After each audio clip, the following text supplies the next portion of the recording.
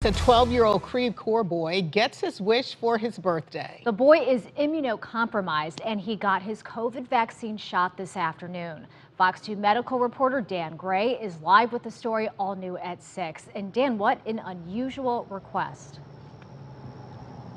It was at the top of his birthday list. We're at SSM Health Cardinal Glennon Children's Hospital where 12-year-old Brendan Walrath of Creve Coeur is eager to share how the COVID 19 vaccine will make such a big difference in his life.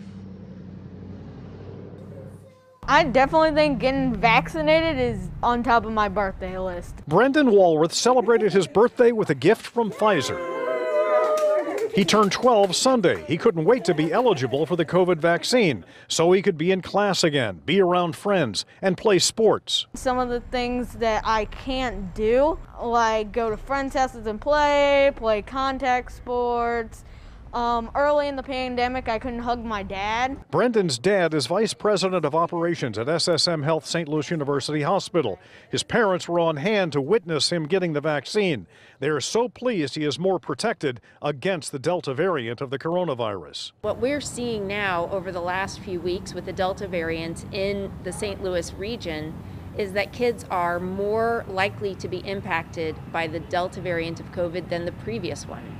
So we typically have um, some number of kids here, anywhere from two months old to 17 years old, here in the hospital with symptoms from COVID. We are at uh, the same height as we were at the highest levels um, in previous months, and I don't see any indication that it's slowing down at this point. This sixth grader is immunocompromised. He has juvenile idiopathic arthritis. That puts him at a higher risk for serious complications if he were to get COVID. So his message now to other kids is the vaccine can make a big difference in your life. Definitely get vaccinated so we can get this pandemic over with.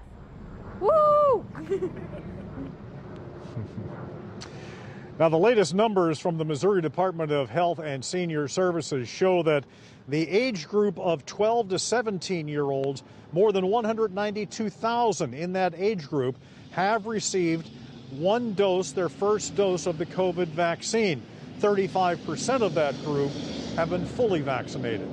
At SSM Health Cardinal Glennon Children's Hospital, Dan Gray, Fox 2 News.